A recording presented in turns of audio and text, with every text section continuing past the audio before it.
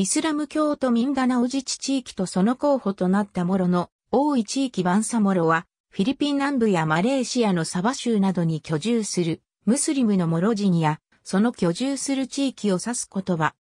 ミンダナオ島の全ムスリムの法的、判別的名称でもある。バンサは、フィリピンやボルネオの言葉のバンサやルマドマノボの言葉のバンサに由来し、人々や国を意味している。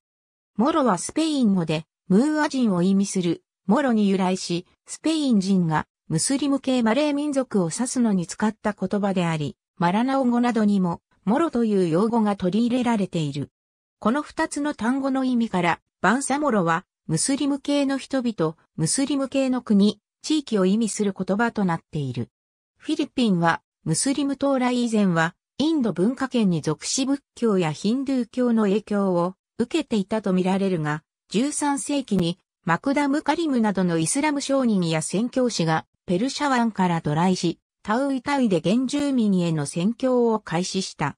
また、東南アジアで先んじてムスリム教国化が進んでいたマレーシアやブルネー、インドネシアなどとの貿易も南部フィリピンのイスラム地域化を進めた。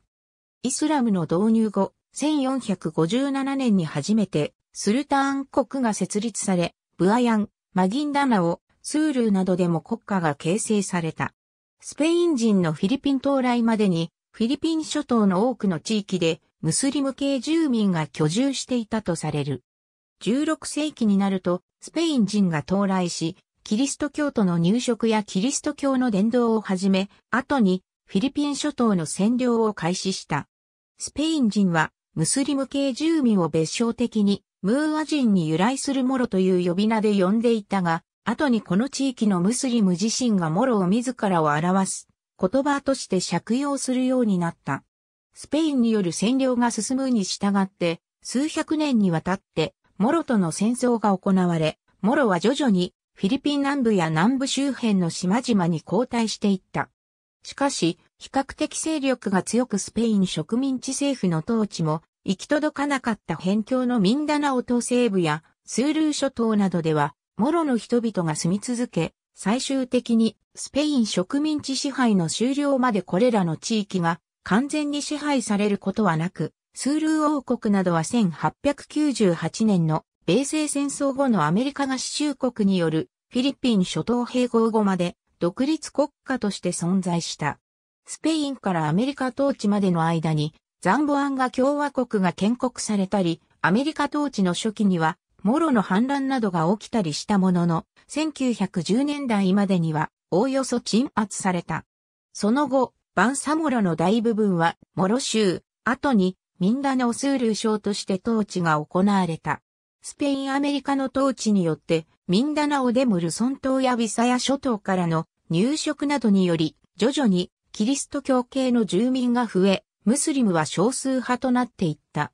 フィリピンは第二次世界大戦後に独立すると国民を統合し、単一国家を作る動きを強めたが、これがシャリアのムスリムの反感を呼び、モロ民族解放戦線などが形成された。モロ民族解放戦線は、バシラン州、スールー州、タウイタウイ州、ミンダナオ西部、パラワン州南部やマレーシアのサバ州など伝統的なバンサモロの地域として主張し、これらの地域では、モロ民族解放戦線や、そこから派生したモロイスラム解放戦線等の武装組織とフィリピン国軍の衝突が断続的に続き、一時は独立宣言なども行われた。